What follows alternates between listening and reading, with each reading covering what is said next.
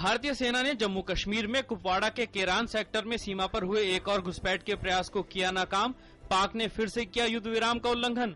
शुक्रवार की रात को भी पाकिस्तान ने भारतीय सीमा रेखा पर पुंछ में मेंढर और हमीरपुर क्षेत्र में युद्ध विराम का उल्लंघन करते हुए गोलीबारी की थी।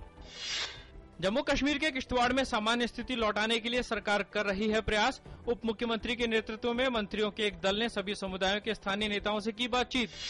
लोकसभा अध्यक्ष मीरा कुमार ने कहा कि संसद को सुचारू रूप से चलाना है उनकी प्राथमिकता, कहा कि संसद के सामने जो भी विधेयक हैं, उन्हें पास कराने के लिए वे हैं प्रयत्नशील।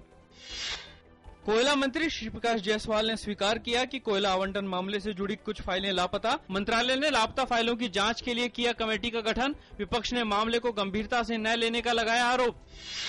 संचार उपग्रह जी सेट फोर्टीन को ले जाने वाले जीएसएलवी डी फाइव के प्रक्षेपण की उल्टी गिनती शुरू। उपग्रह का प्रक्षेपण सोमवार की शाम चार बजकर पचास मिनट पर श्री हरिकोटा के सतीश धवन अंतरिक्ष केंद्र से किया जाएगा। आईएनएस हिंदू रक्षक हादसे में लापता 18 नौसैनिकों में से छह के शव मिले।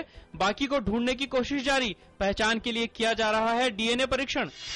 बिहार के मुंगेर ज़िले में गंगा नदी में नौका के डूबने से किशोर की मौत। दो पुरुष तथा दो महिला लापता। नौका में 24 लोग थे सवार।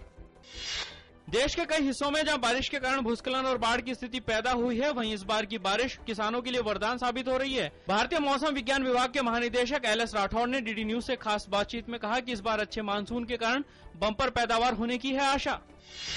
मिस्र के अब्दस राष्ट्रपति मोर्सी के समर्थकों के खिलाफ हुई ताज़ा कार्रवाई में 180 से ज़्यादा लोगों की मौत, मुस्लिम ब्रदरहुड के नेता के बेटे के मारे जाने की खबर।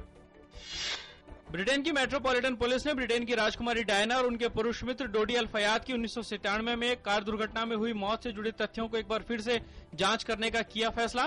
ब्रिटिश पुलिस ने बताया कि उन्हें राजकुमारी डायना और फयाद की मौत से जुड़े कुछ नए तथ्यों का पता चला है, जिसकी वे जाँच करना चाहती है।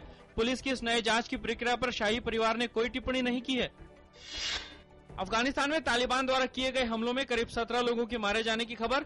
पश्चिमी हेरात प्रांत के कारख ज़िले में आतंकवादियों ने रात सड़क के किनारे स्थित श्रमिकों के एक शिविर पर हमला किया, जिसमें नौ श्रमिक मारे गए। वहीं हेलमंड प्रांत में सड़क के किनारे हुए बम विस्फोट में पाँच नागरिकों के मारे जाने की खबर। इराक के सबसे बड़े बंदरगाह उम्स कासर में भीषण विस्फोट होने की खबर। अभी तक विस्फोट के कारणों का पता नहीं चला। गौरतलब है कि इस बंदरगाह पर मुख्य रूप से आयातित सामान तथा भारी मशीनरी उतारी जाती है।